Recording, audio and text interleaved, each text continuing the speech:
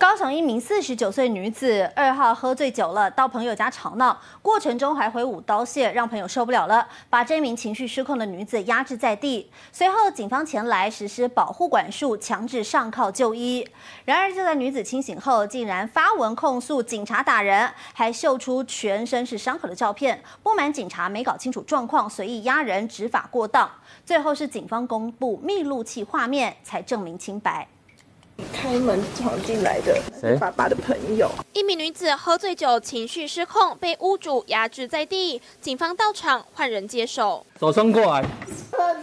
啊，没关系，你回回回派出所说。女子烂醉，开始胡言乱语，跑到别人家中大闹，还一度拿刀挥舞，就怕做出伤人举动。远警实施保护管束，强制上铐带回警局，但女子不断呕吐，所以又被五花大绑，强制送医。拿刀。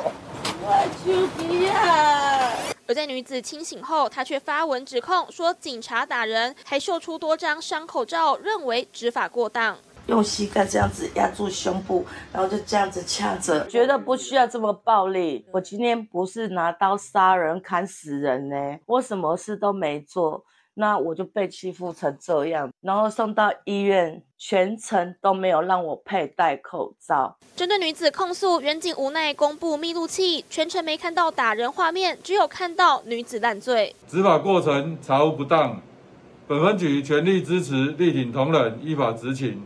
勇于执法。远景公布画面证明清白，事后女子贴文也被网友检举下架，只是依法行事却惨遭指控打人，不禁让人感叹人民保姆实在难当。记者陈克成浩高雄采报道。